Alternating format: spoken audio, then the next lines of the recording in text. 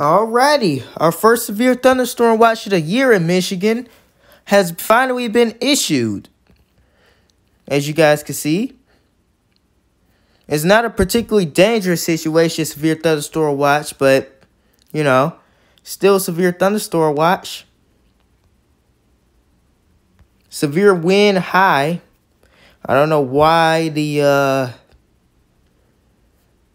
watch picture ain't coming up. But um effective this Sunday night and Monday morning from 6:05 p.m. to 1 a.m.